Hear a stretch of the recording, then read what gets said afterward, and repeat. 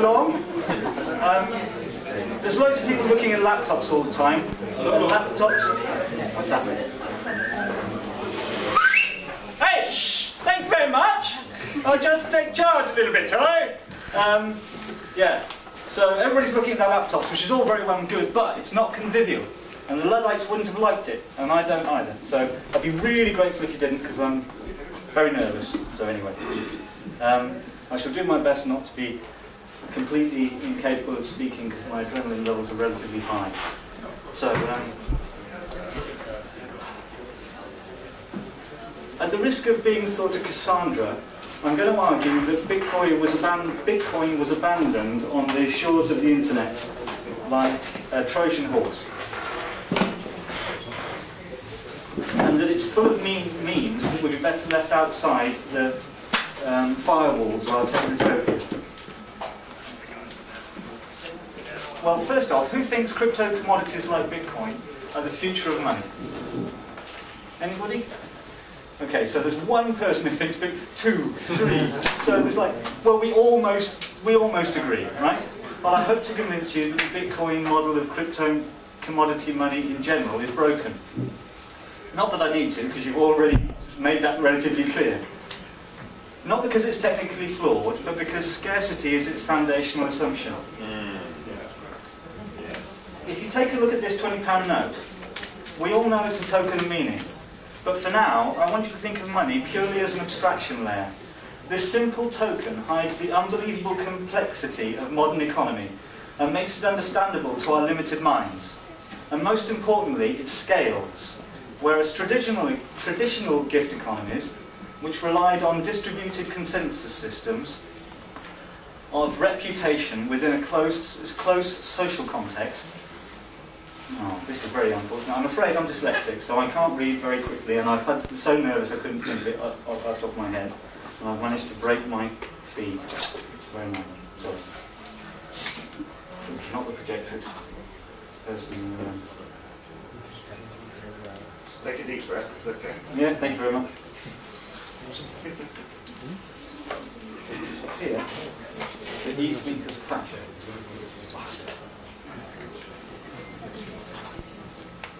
Yeah, that's absolutely bricked. But it would do, wouldn't it? yes. Have Or No, it's, it's, I just need to restart eSpeak and then paste it back in again. And delete the beginning. I'm sorry. Just take this out of my question time because I couldn't give you any answers anyway. So, uh. Where are we up to?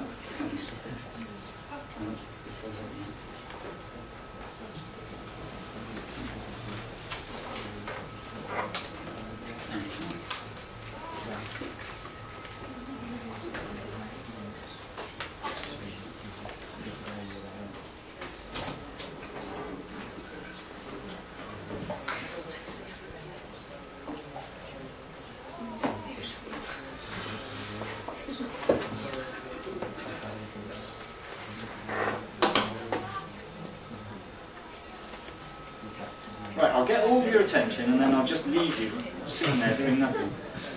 Sorry.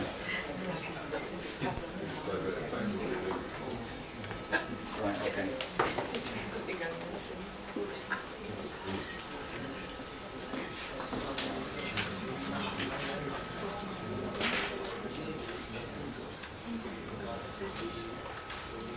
Right. So like I was saying, the problem with human relationships as a distributed um, system of consensus is that they don't scale much past Dunbar's number of 150 relationships. So at some distant point in the past, when social systems grew too big for people to track who owed what to whom, as ingenious little monkeys, we invented a technology to fix the problem. And thanks to money, when presented with almost any economic choice, all you need to ask yourself is, is it worth the candle? Oh, just before I move on to Bitcoin, I want to ask, who thinks that the adoption of peer production, and we kind of covered this earlier, general purpose um, AIs and robots, um, is about to produce a sharp rise in productivity of material abundance. Anybody? So there's people who do think that that's going to happen, right? At least there's one person anyway. and who thinks that that will, I could say disrupt, but I prefer totally fuck the economic order within almost no time at all. Okay, so at least there's more of them. So how do you think that without thinking, you're obviously not paying attention. And one other question. Is there anyone here who thinks that the Earth is the centre of the solar system? the clue's in the name. Okay. So to be fair to those that did believe that the Earth was the, was the centre of God's plan, when you see the sun go across the sky, that's how things are. For almost everything you want to do, it's a good enough description. But it's still wrong. So what would it look like if it looked like the Earth rotated around the sun? Anyway, back to this, the 20. This amazing paper API makes it possible for everyday commerce to be uncoupled from the social ties that used to mediate all human interactions. And with money, we can get total strangers to do our bidding, just as if they trusted us personally. So how did we invent cash in the first place? I'm sure at one time or another, you've heard the, how money grew out of barter. So the short version is, I want something you've got, you want something I've got. Let's swap. Woot! We just invented market economics! Then, well, if you wait, all this swapping shoes for candles is difficult. I don't need any more shoes. So let's make it easy and swap things for something rare, like, I don't know, gold. Yatta! We just invented money! Anyway, I said it was the short version. So, now we have money, we can do a cost-benefit analysis and work out if it's worth the candle. Now that phrase makes almost no sense today, but if you look back just a few generations and compare the cost of candle candle light to hours worked, you'll find that in the 1800s, you could only buy 10 minutes of light for a whole hour's pay, whereas now, an hour's work will keep an LED lit for an entire year. And that's one example of an uncountable millions of commodities that surround, surround us today in such abundance that they're too cheap to meter. So if you hope that the superabundance I asked about earlier will improve society when it arrives, bear in mind, in effect, it's already here. And yet, we still have poverty and discontent. Even in advanced economies, there are people who live simultaneously in objective abundance and subjective deprivation. And I'm completely ignoring the rest of the world, which is what we normally do. But you and I are here because we do want the world to be a better place. You have a vision of what the results of redecentralization will be, and you think you can help build it. And so did Satoshi Nakamoto, which brings me to the title of this talk. It's not a computer science kind of broken, so let's just pretend that we've overcome blockchain bloke, blockchain bloat, diffuse the concentration of power in mining pools, and put the resources pumped into proof of work to some good use. Now ask yourself, having achieved all of that, would adopting a perfect version of Bitcoin bring about the more perfect world your heart knows is possible? Or will it just recreate the imbalances of power and wealth that we're attempting to resist today? The real problems we face aren't ones of technical implementation or even of mass uptake. The greatest threat to the social success of re-decentralisation are the conceptual assumptions we apply to their design. We want to liberate the internets with free software, unless you're into open source. And. But how free is this software? Our imaginations are full of metaphorical binary bob, blobs and legacy code. And what patchy commenting does exist is either really, really hard to read or refers to something that's since been deprecated or deleted. Now it's obvious that our, our language and with it our values and most of our ideas came from our culture. And many of our, our beliefs were imposed by, with, on, with, by sorry, propaganda like advertising and education. And here's something you probably didn't learn, get to learn about at school. For those of you who don't know, anosognosia is where a person with a disease or disability is subjectively unaware of their condition. And it's most, uh, it's most dramatic when a blow to the head or a stroke results in paralysis.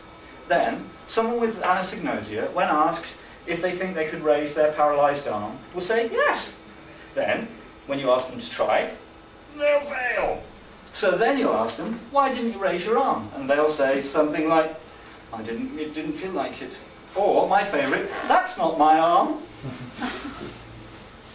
and even when reminded of the reasons for their paralysis, which they can acknowledge, the next time you ask them about the arm, the loop will repeat.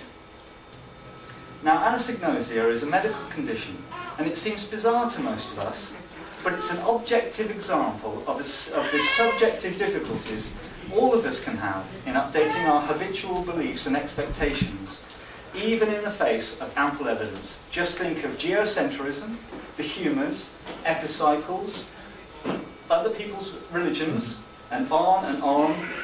Oh, and that includes, and most importantly, the idea of money coming from barter. If you think that uh, cryptographical enclosures will create digital incentives and thus crypto commodities can be used to incentivize people to save the world and overthrow the state, you're deluding yourselves.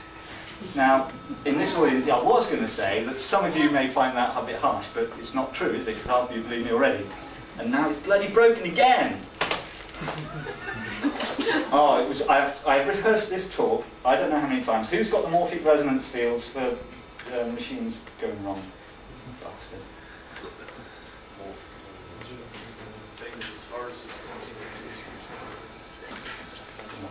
Yes, again, I get to talk, uh, answer a few questions. Not that you were going to have any, because I'm right, so you wouldn't want to Actually, what it is. I was up to, what was the last thing I said?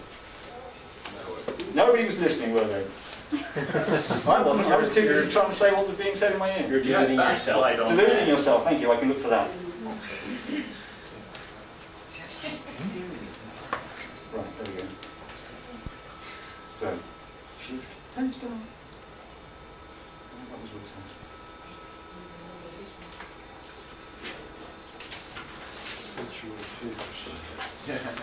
I hope you'll edit the um, upload. Ready to go, ready to keep these bits. Yeah, yeah, it's just, he gets up and he fumbles with the machine forever. This is what, why you should never let anybody look after a computer, society with computers. Anyway, some of you may find that jarring. But I'm telling you, unless you already know, in which case I'm ranting for nothing, um, that the evidence from anthropology and archaeology is clear, and it has been for a century. Money doesn't come from barter. I mean, yes, barter did and does exist, but in real life, it's only used to mediate interactions between potential rivals and strangers. The exception being where people habituated to money no longer have access to it. For example, the use of cigarettes as money in prisons. The stories people tell themselves to make sense of their world, they give it meaning. And so they become fixed as truths. For all our delight in human ingenuity, and eager anticipation of the coming singularity, people still feel fear change and are more likely to deny reality in favour of their own beliefs than the reverse.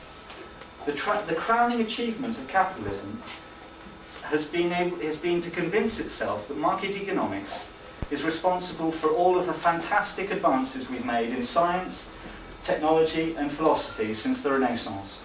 And if that were true, which it isn't, it's the abundance of energy, and information that's responsible for um, modernity.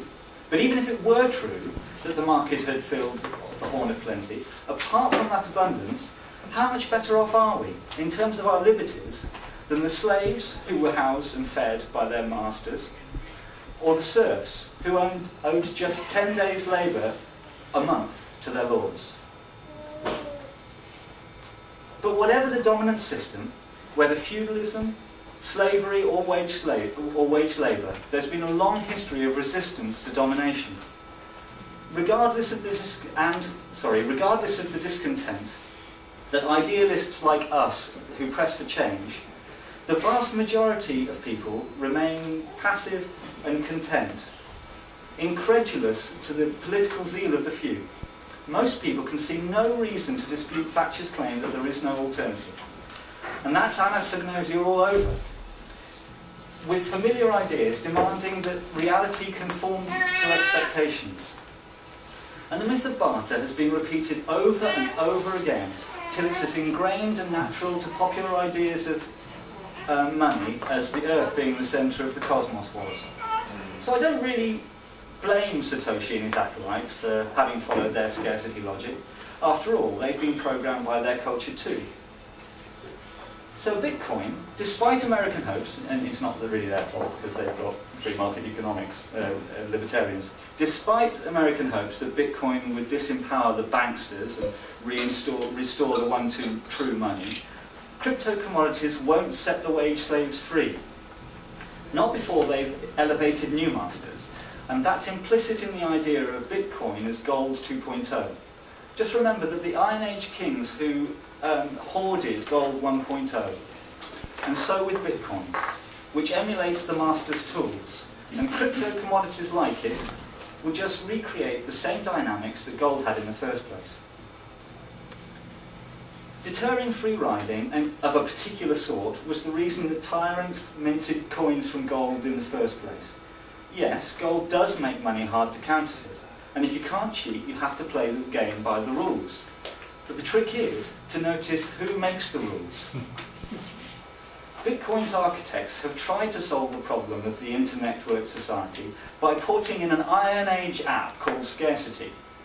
Surely this imposition of code as law contradicts the potential of the limitless new medium of the internet. As free software advocates, or as a free software advocate myself, I see cryptocurrencies as DRM. The logic of DRM is, if we don't stop people from sharing everything, our stuff won't be worth anything. and I'm convinced that Bitcoin and altcoins like them will be widely adopted by people already habituated to the proprietary restrictions and copyright. So to sum up and reiterate, Barter was for use between strangers and rivals, and it's a trustless system. and it offers protections which don't apply where social reputation can be tightly coupled to personal interactions. In natural communities, with strong social ties, there's just no need for barter. People live without, mutter, without money to record their status all the time. Just think of your, how you interact with the people you, that you trust and love. And that's the model that we should be trying to em emulate with re-decentralization. We have the technological capability to remove the limitations that we've become used to from money. The necessity to simplify all the history, personality and conviviality of human interactions and hide them behind the green curtain is, is antiquated. Many of you in this room, room will no doubt want to preserve the advantages of amnesia and anonymity that old school money has. But abstracting complexity to such an extent, extent whether, uh, that status, whether earned or stolen, can be hoarded and misused is bad. Uh, to, be, um, to be effective, our distributed systems need means of agreeing on the social standards of the other participants, which we've seen fantastic examples of the beginnings of today. Um, money did serve that purpose in the past, but the cost of the data loss were too high. Our problem is not one of technical implementation, or of strategy, or even of mass uptake. The greatest threat is the concept, the, our, our conceptual habits. My aim with this talk has been to challenge you to raise your metaphorical arm and in implementing our new infrastructure, which is what I like instead of the Internet Things, to become aware of the delusion that marking that, uh, that something. Why would we choose to keep the separation and isolation of com competition and, and um, accumulation when the internet is a means of connecting networks of people together? The challenge is, and it's been looked at uh, already, to work out how we, can use distributed databases and strong consensus to enable people to reconnect in natural communities of reciprocity and collaboration within a medium designed to e- equilibrate away from dominating strategies of artificial scarcity. I'm convinced that the tool, tools we build now and the stories we tell with them will change the world. Thank you.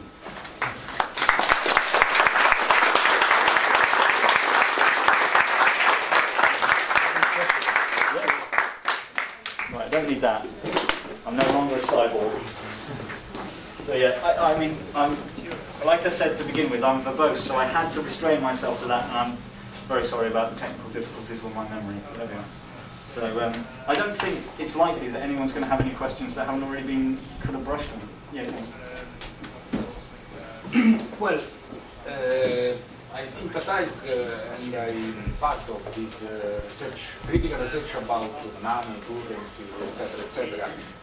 And I appreciate that you also dismantled in some way one of the myths, which is, for example, this idea that the money, the money comes from the barter. However, I think it's, it's one of the most complicated uh, institutions we live through, money.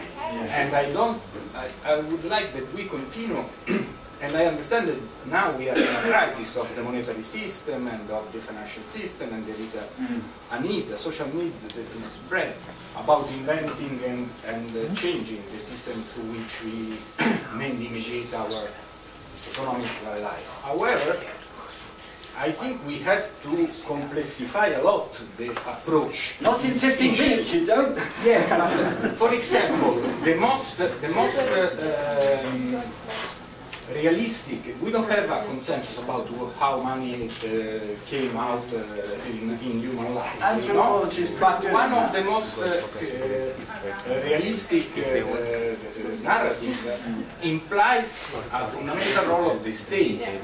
And Oh no, that's the absolutely with the imposition of money as coinage. Yes. So that's yeah, a fundamental, a fundamental part of Yeah. and, and there is a lot of historical evidence. Yeah, yeah, Even in capitalism, Yeah. money came out of. Even the biggest and if you look at the, at the central bank, how it is, it is, it's a very complicated institution in, in the uh, modern societies, and you will find there a very com complicated uh, network of relationship between the financial markets the, and the financial institutes, institutes and the institutions and, But and that, the state. that's not that's commodity money though, is it? que- the question is that we have to avoid to approach this huge issue in through uh, uh, huge simplifications. This is the But my- that's my- why Bitcoin's broken because it's so simple. So, for all example, I'm doing is not, talking not keep out the single- state because we are not going to address seriously this issue without addressing the role of the state. Thank you for reiterating my talk. I think that was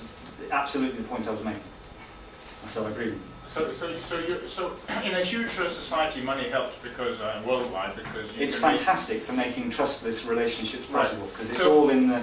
So in, in, a, in a linked data world, a global distributed database, I suppose you'd want to have some kind of system whereby you could say, uh, I put this amount of effort in building this house. This house is altogether being worth this much effort by all of these people, and so the worth the worth of the house would be like uh, assessed by the by the value of the amount of work that people put in it, so that you could something like that. Is that kind of the Uh, there are, certainly there are there, there are ways that people do that, even as simplified as putting the number of hours and saying you should trade with hours.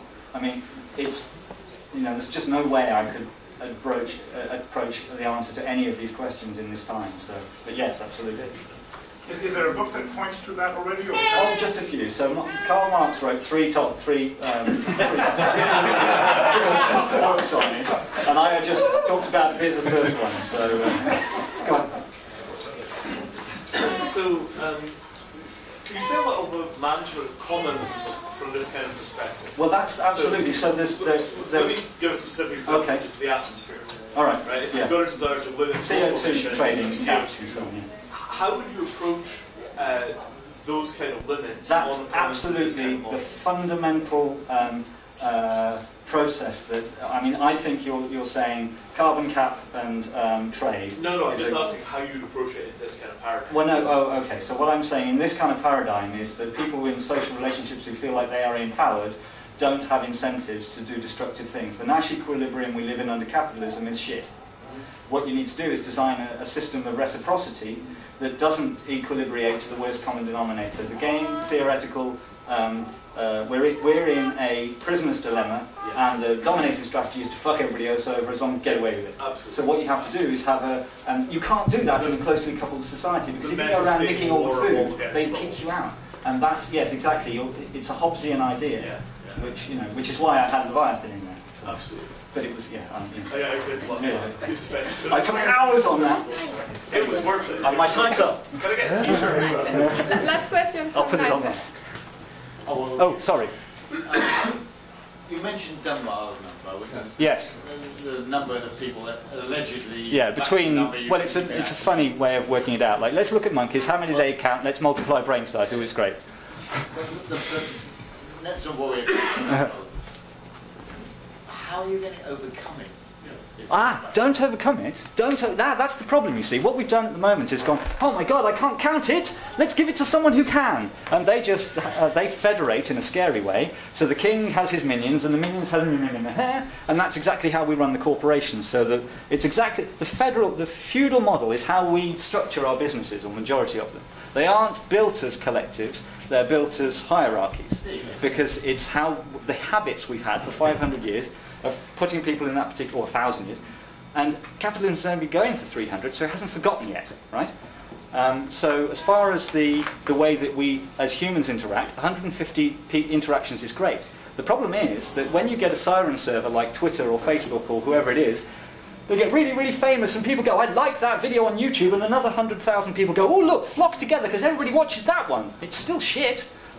You need 150 people to know who, what they're talking about and then let them be part, uh, separated and connected. i got to sit down, otherwise I'll talk again. Uh, so, but we actually need to clear the room for like five minutes because we need to rearrange with tables. Okay.